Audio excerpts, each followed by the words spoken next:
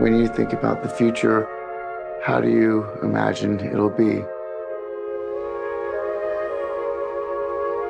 What will stay with you? And what will you forget? How will your city change?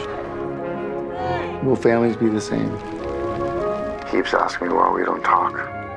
You could tell him the truth. Mom died. We got into all that weird stuff. That weird stuff of our entire lives. What scares you? Jesse! Where'd you go? What makes you angry? I'll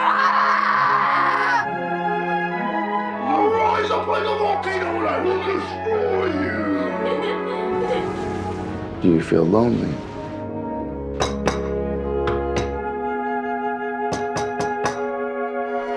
Maybe we can just take this process slowly and see how, see how it feels. You are just terrible at this. Oh man, I'm trying.